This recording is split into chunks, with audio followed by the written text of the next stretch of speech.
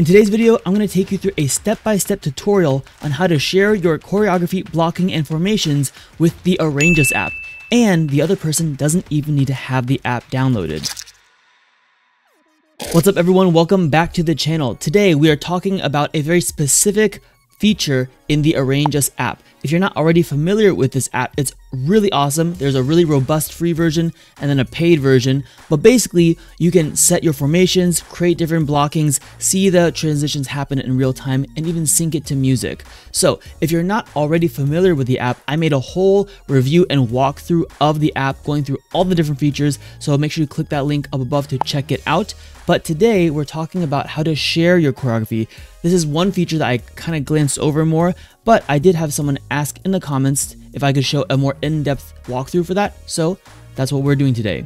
As a dance teacher and someone that sets work on other studios or schools sometimes, it's a super helpful feature for me where I can send my blockings to my subs or the organization that hired me or a collaborator. So right now I'm doing a production piece with a really large group and I'm co-choreographing with another teacher at the studio. And so we both have the app, we both will do our own blocking and then we'll share it to the other person. And that way we have the most up-to-date version as we're working on different sections. It's super helpful. Before we get into this, I realized I forgot one disclaimer. I am using a Samsung tablet. Obviously, if you have an iPad, things might look a little bit different. But the teacher that I mentioned, she has an iPad and we have been using this app back and forth for the past two years now, I think. So it is possible to do this on both iPads and other P uh, Android tablets. So just want to say that out loud. After you've made your choreography or wherever you are in the process, you click on it and we're going to go to settings, scroll all the way down and now share choreography. You'll notice it says PDF or Arrangeus file. PDFs are great because if someone doesn't have the app, they don't understand how to download it, whatever it is, it will still make it really easy to view. So just to show you real quick, here is one of my blockings I'm still working on, but it has the uh, formation title, it has the name, the different colors, right? So if I go to share, share choreography, PDF file, let's do that first. I'm going to say show scene directions because I like to see where audience and backstage is and generate. Doesn't take too, too long.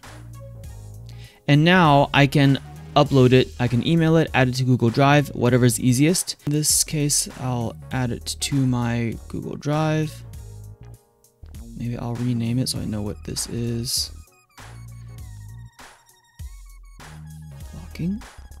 Save. And now if we go to Google Drive, there it is. I click on it and you'll see each formation on the top has the name and has all the names, colors, all that good stuff.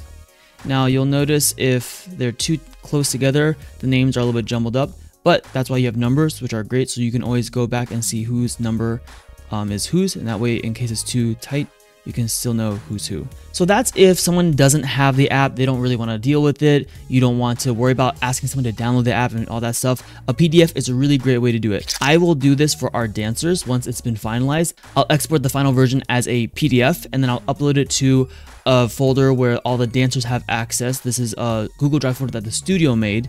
And that way, if they have questions when they're reviewing at home, they can look at it. It's a little bit clearer sometimes than a video that was filmed from like the corner of the studio and it's like super shaky and you can't always see yourself. If you want to be able to click through and edit the formations or things like that, you have to do the ArrangeUS file and that means the person who's receiving it has to also download the app. A reminder, there is a free version, you don't have to have the paid version in order to use this feature, so it's really not a huge deal, and you can do it on your phone or tablet. To show the ArrangeUS file version, I'm actually to make a new choreography and use that as an example. So let's go and make a new one. This is our test. 12 dancers and let's say next formation we're just gonna do a little random something something next formation I'm gonna turn some of them let's say a different color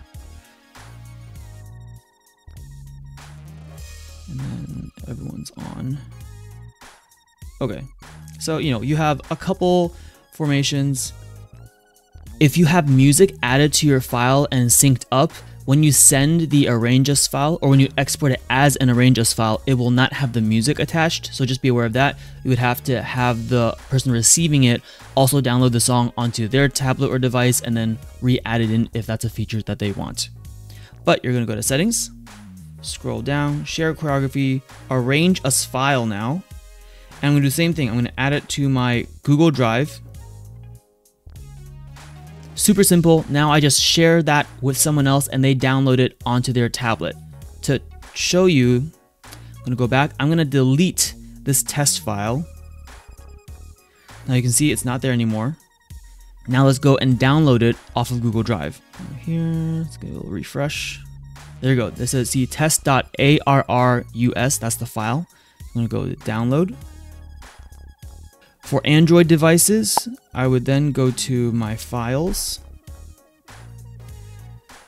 and see how it says test.arrus there. I'm going to click on it. Now it's going to open with, say, ArrangeUS.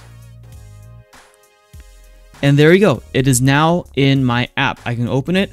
I can go through all the formations. I can now change it if I need to.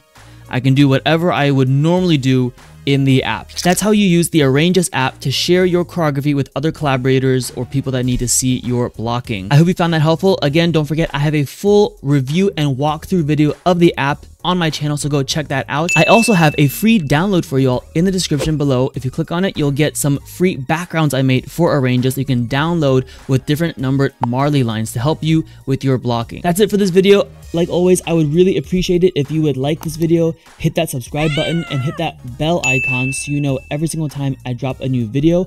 And if there's a feature that I didn't quite cover in depth uh, in the ArrangeUS app, leave a comment and let me know. See you next time.